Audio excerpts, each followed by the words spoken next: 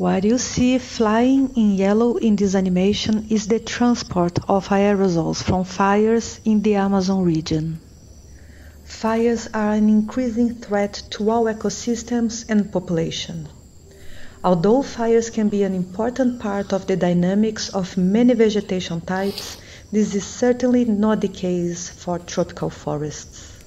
In the Amazon, fires are used as a land management tool for clearing the biomass of deforested areas, and of course, there are the forest fires.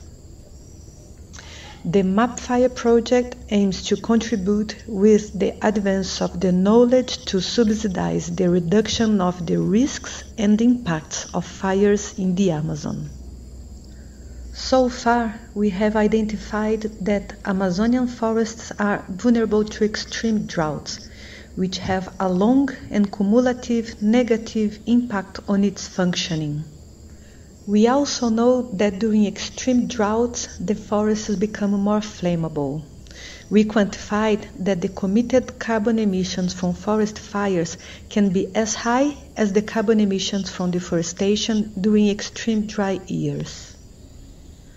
Moreover, the forests impacted by fires lose their capacity to store carbon. Even after 30 years after the fire event, these forests hold about 25% less carbon than pristine forests.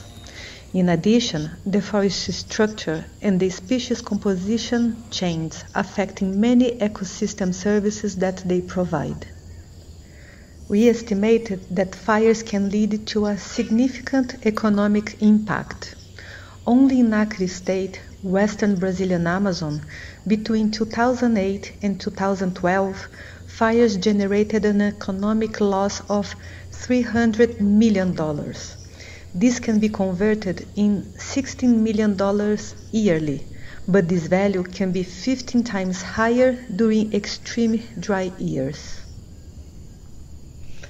Although these numbers seem high, we know that our estimation of fire impacts are underestimated.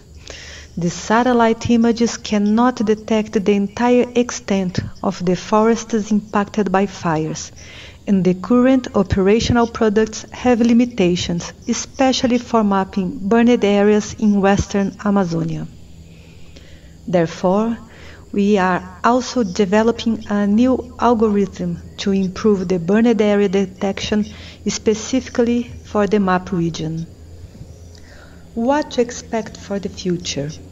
Here, we quantify that climate change due to the rise in the atmospheric CO2 can increase from 7 to 28% the fire probability by the end of the century. If we combine the land use change and climate change, these probabilities can increase from 10 to 70%. This means that there is a lot we can do to avoid these scenarios.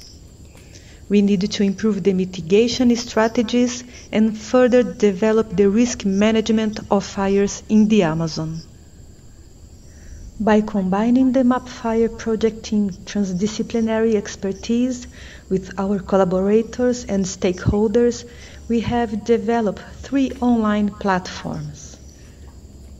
The MAPFIRE platform exhibits real-time updated information on when and where fire is occurring in the map region, providing alerts to the most critical areas.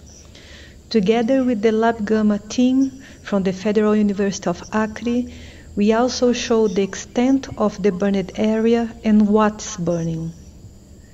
The Acre Qualidade do Ar, which can be translated to Acre Air Quality Platform, is a joint initiative between scientists and the public ministry.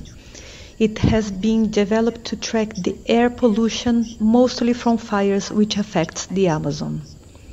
This platform uses the novel concept of the Internet of Things, with low-cost sensors connected to a global network. Here you'll find information about the air quality with charts and diagrams, translating the technical data in an easy way to anyone in the society. The third platform, which will become operational by the end of this year, exhibits a three-month fire forecast probability for South American protected areas. This anticipated information can subsidize local planning for mitigation and preparedness for avoiding wildfires. In our transgenerational approach, we have engaged with more than 500 school students from three public schools in Acre. They have used adapted scientific methodologies to produce materials about fire risks and its negative impacts. In order to gain scale, we are now producing a teacher's handbook and theoretical background material so this method can be replicated in schools all over the Amazon. We have also engaged with the society by participating in a weekly radio program to ensure that the information regarding fire risks and impacts reaches the rural communities, the population with the highest fire effects exposure. We are constantly looking for opportunities to provide alternatives for a fire-free Amazonia. If you want to know more or contribute with the MAP Fire project, reach us in our social media.